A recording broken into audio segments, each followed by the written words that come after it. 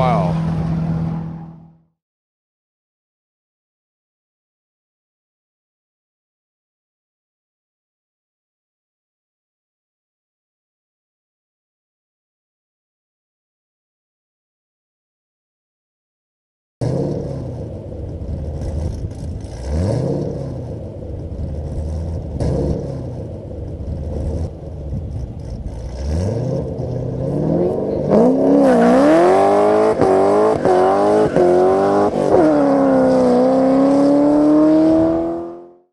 Thank Lieutenant Governor Dewhurst for letting us come out here and helping us connect with. And the people at, Yeah. at TxDOT, There you Deirdre go. DeLisi and Ted Houghton. Thank Wouldn't you to have happened without. TxDOT and, and the state of Texas for letting us come out here to State Highway 130.